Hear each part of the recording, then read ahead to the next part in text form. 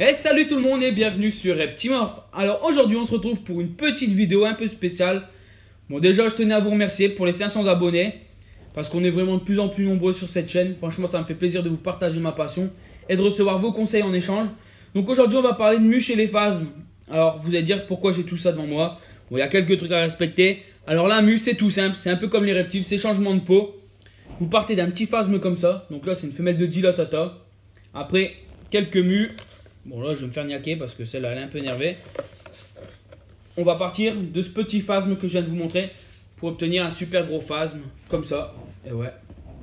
Donc vous imaginez un tout petit truc comme ça, on obtient ça après quelques mues.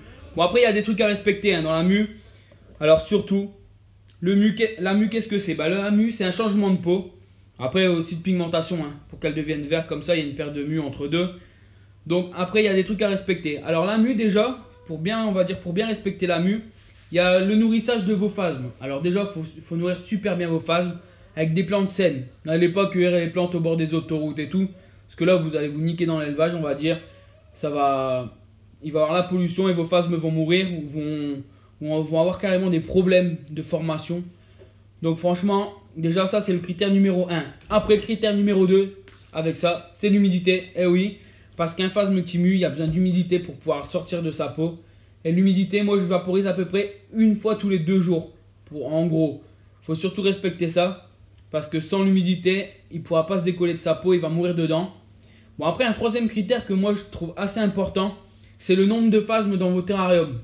Ça sert à rien de mettre 300 phasmes dans un terrarium, ils vont être tous agglutinés. Et le souci c'est qu'une fois que votre phasme va être suspendu comme ça pour, il va être suspendu là par sa mue, pour muer, s'il y a un phasme qui passe et qu'il fait tomber, vous allez vous louper parce que votre phasme va tomber au sol, c'est terminé, les morts. Donc franchement, respectez ces critères-là. Hein. C'est quelques petits conseils que je peux vous donner sur la mue. Après, si vous avez des questions, n'hésitez pas à me les poser hein. sur la mue. Euh, je pourrais y répondre. Je euh, j'ai pas mal de mues, même chez les reptiles, chez les menthes. Là, je fais une vidéo pour les phasmes, un petit peu pour changer parce que j'ai fait pas mal de vidéos sur les menthes. Bon après, on est, euh, si vous voulez plus, en voir un peu plus des menthes, des phasmes, même des reptiles. Vous pouvez me suivre sur Snapchat, Instagram. Bah, Facebook, là, je vais m'y remettre à fond. Poster un peu tous les jours des, photos. N'hésitez pas à me poser vos questions aussi sur Facebook. Si vous avez, moi, j'ai pas mal de gens qui me contactent tous les jours. Si vous avez des questions, allez-y. Lâchez-vous, posez-moi. Je suis là vraiment pour y répondre. Ça me fait vraiment plaisir d'y répondre.